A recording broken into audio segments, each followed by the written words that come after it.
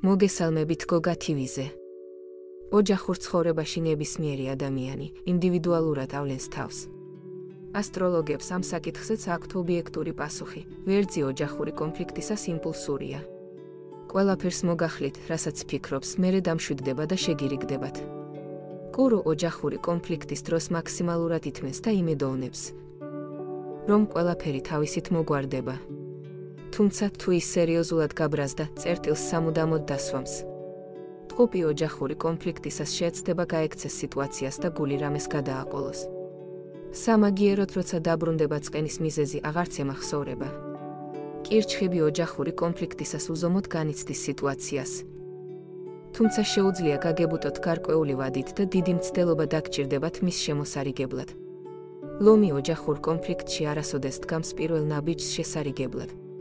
უმეტესად შეურაცხყოფილი დუმილს არჩევს და ცივად ეპყრობა მეორე ნახევარს. ქალწული ოჯახური კონფლიქტისას ენამწარე და სარკასტული ხდება. შეუძლია წვრილმანი წყენები წამოგაძახოთ. სასწორი ვერიტანს კონფლიქტებს ზოგადად, ამიტომ ოჯახური კონფლიქტისას ძალიან ბევრს ფიქრობს გამოხატოს თუ არა გაღიზიანება.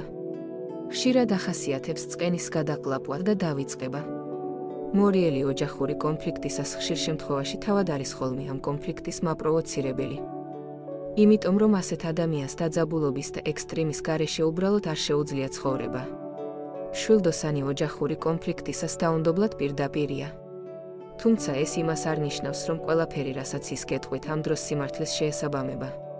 თხის რქა ოჯახური კონფლიქტის დროს მაქსიმალურად მომთმენი და მოზომილი იქნება. მისთვის ოჯახის ინსტიტუტი იმდენად ძვირფასია, რომ შეუძლია წლების მანძილზე დაფაროს უკმაყოფილება. მერწყული კონფლიქტურ სიტუაციაში ერთობა არა პროგნოზირებადად იქცევა. ხან შეიძლება თავი არიდოს ხმაურიან გარჩევას, ხან კი პირიქით აძალებს პარტნიორს, რომ დაჯდნენ და განიხილონ შექმნილი სიტუაცია. თევზები ოჯახური კონფლიქტისას თავს არიდებენ ღია ომს და დაპირისპირებას. მათთვის დამახასიათებელი უზომო მოთმინება და ხშირ შემთხვევაში მსხვერპლის გაღებაც კი ურთიერთობის გადასარჩენად. დღეისათვის სულ ეს იყო. მოიწონეთ და გააზიარეთ ვიდეო.